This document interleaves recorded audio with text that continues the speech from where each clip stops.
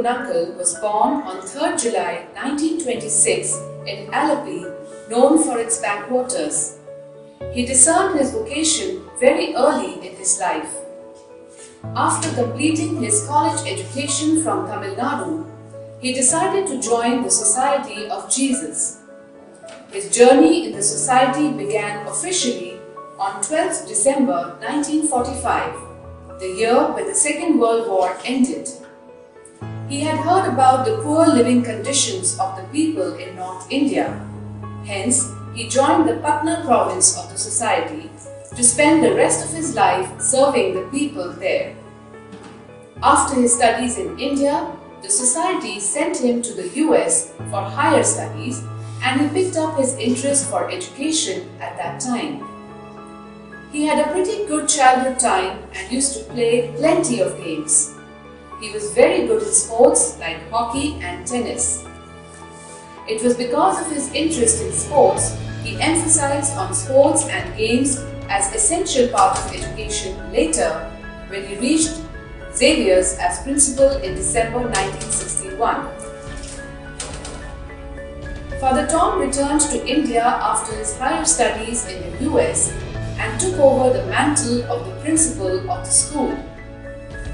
In the early decades, Xavier's was a very selective school.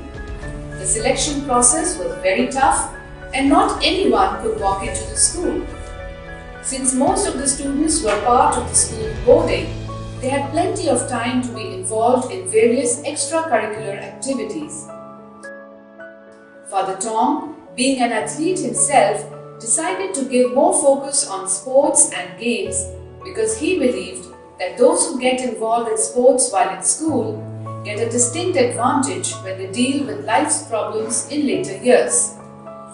Looking back, Father Tom believes that his best contribution to Xavier's has been developing a well knit and highly motivated, enthusiastic teaching community who were passionately dedicated to the holistic upbringing of the students in their care. Before being affiliated to the CBSE, the school followed the Cambridge curriculum, which was very challenging. Most Delhi schools in those days were academic oriented, but Father Tom thought differently. Along with academics, he began to give importance to life skills and soft skills like the ability to do critical and creative thinking, problem solving ability, interpersonal skills, ability to communicate, self confidence, ability to handle stress and tension. He believed that mere book answers and even high marks would not carry anyone very far into life. As an educator, he encouraged the students not only to answer the questions but also to question the answers and even question the questions. Developing the kind of competencies and attitudes to deal with fast changing patterns of life is the real challenge in education. As an educational philosopher, it was his aim to ignite a fire in the belly of every student that will ignite other fires. In other words, he thought that education should be an effective agent for the transformation of the self and through that transformed self contribute a societal transformation. The school also had an excellent boxing team in those days and father has a vivid recollection of how some of our young Xaverians literally growing up through that boxing ring experience. As alone, they stood in the ring to fight and win. It was his lesson to everyone he does not give up till the last ball is bowled or till the final whistle is blown. As the longest serving principal of our school, he followed the difficult goal of making everyone a winner. Most schools, even today, drop out students who they are not confident would clear the board examination so that they could boast of 100% results. But Father Tom thought differently he would allow every student to appear for the board examination and took it as a challenge to ensure that they cleared the exams. Even when some failed to do so, he was not worried because for him it was a sign of right policy. He was also confident that after having gone through the education in Xavier's, no student would at least fail in life. He thought that making butter out of butter didn't deserve much appreciation. As principal, he never encouraged competition where only one emerges the final winner. He discouraged dog eat dog type competition, which is not only immoral but also harmful to the world. As principal, Father Tom laid foundation for the right kind of academic award system which is followed in Xavier's even today. We don't follow top academic awards where only top three students are recognized, but he followed a system where a good number of students reach a standard which is not very easy and were given merit certificates. In this way, several students got such certificates. According to him, expanding appreciation and giving credit is the best way to develop the potential of every student. In those early years, it was necessary to set up systems, to establish high standards, and to maintain compassionate discipline in order to provide quality assurance to the school. Other than being an eminent educationist, Father Tom has remained steadfast as the champion of the marginalized and the underprivileged. Shedding its elitist image, he opened the gates of St. Xavier's for the voiceless and the powerless towards the latter part of his principalship. Spearheading Mrs. Indira Gandhi's slogan, Garibi Hatao, on the campus, he ignited the young Xaverians to grow up as compassionate and socially responsible citizens. The Government of India recognized the true potential of Father Tom and invited him to take up the chairmanship of the CBSE from 1980 to 1987. He also served as a member of several national commissions like National Commission for Teachers 1983 and National Commission for Review of National Education Policy 1987. He was appointed consultant to the Ministry of Human Resource Development to design and prepare a turnkey project to set up the National Open School from 1987 to 89 and was appointed chairman of NOS from 1989 to 92. As its founding chairman, Father Tom reframed most rules of the formal system to meet the needs of the learners of open schooling, most of whom are adults who lost their first chance and dropped out. NOS gave them a second chance for education and through it for life. While keeping the academic standards of the course, open schooling provides a lot of flexibility. Father Thomas Kunnunkal was given the National Award of Padma Shri in 1974 by the President of India and in 2006 he was given Honorary Fellow by the Commonwealth of Learning, Vancouver, Canada. Presently, he is an educational consultant, writer and animator. As an educationalist, Father Kunnunkal was a man of great vision who not only mentored the school during its infancy and childhood days, but also initiated progressive changes in it. The future of every individual depends on the kind of guidance you receive as a child and teenager. In the same way, St. Xavier's owes to Father Kunnunkal for the upbringing he gave to it during the early days of its existence.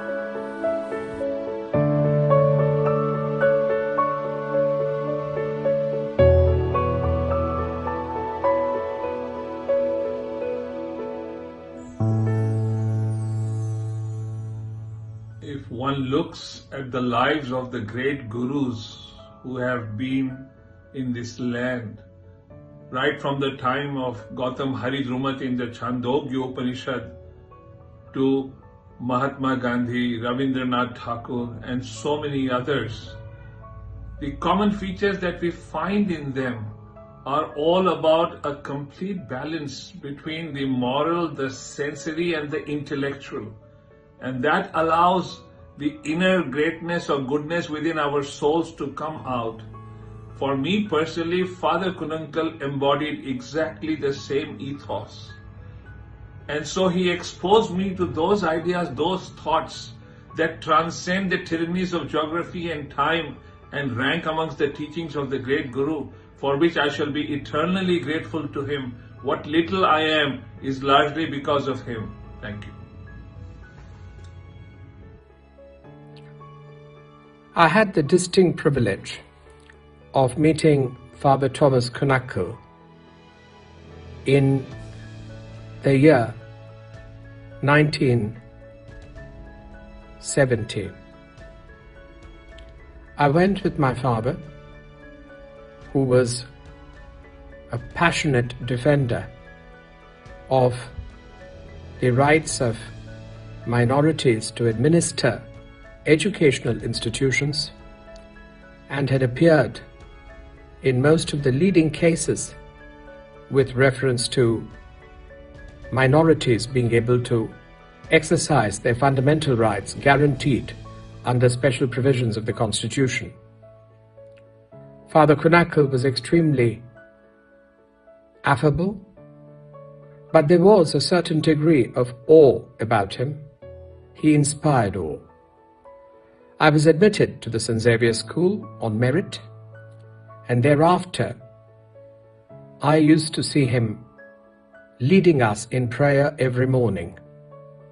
He was disciplined, calm, completely unflappable, and always was able to bring the best out of students, but more importantly, had a perspective which was unselfish, tall, ideal, and he lived his life that way all the time.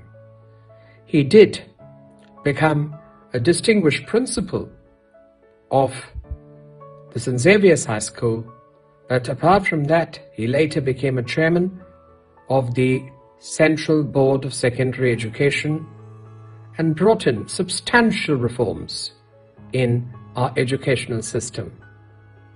But deep down, he was an eclectic Christian, a man of faith, wisdom, compassion. In him, we have found the best that the Society of Jesus stands for. Father Kunnunkal, very warm greetings from cold Michigan area where I am today. I greet you on this very special occasion of 75 years with Jesuit Society. Your compassion, your wisdom, your knowledge base, and a practical approach when you connect with so many of us has helped build strong individual positive attributes within us. They have strengthened the foundation which has helped us to carry on through life with an approach which is both positive and constructive, with an ability to find joy in being connected with others, and an ability to recognize goodness and perhaps even nurture it in some way if it is possible. And that we have gained from your practical experiences and interactions with us. I feel grateful. I feel joyous for celebrating this special occasion, and I wish you all the best for the years to come. And may many more of us continue to benefit from you. Thank you again, Father Kunnunkal. Father Thomas Kunnunkal was an able educationist and administrator who, within a short time, of taking over as principal in 1962 raised the school to very high standards of performance in multiple spheres and made it a top school of Delhi. I would not be wrong in saying that Father Kunnunkal is the rock on which the edifice of efficiency, trust and values as epitomized by St. Xavier School Delhi has been built.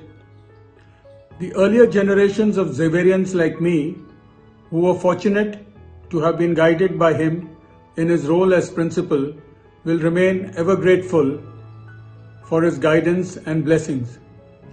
We pray that Father Tom Kunnunkal continues to be healthy and happy, so that our alma mater can continue to thrive and be blessed by his enduring presence. God bless Father Thomas Kunnunkal. God bless St. Xavier School Delhi so that it continues to churn out excellent students as envisioned by Father Kunnunkal and contributes effectively as an abiding mark of trust and positivity in our country and society. Jai Hind. I spent very memorable years of my life at St. Xavier School, Delhi, from 1962 to 1970, that is from class 4 to class 11. And all throughout my stay in school, Father Kunnunkal was our principal. I was always mesmerized by Father Kunnunkal's towering personality. He had this unique ability to command respect from the teachers and students alike without being authoritative. He was immaculate whenever he spoke and he did not mince his words. With his leadership qualities, dedication, commitment, and motivation, he took the school to new heights even though the school was in infancy at that time. He also had an immense impact on my overall development and personality. I can proudly say that we were extremely fortunate, we were extremely lucky to have Father Kunnunkal as a principal. In fact, he is the best principal one could ever have. And it's still a joy to meet him.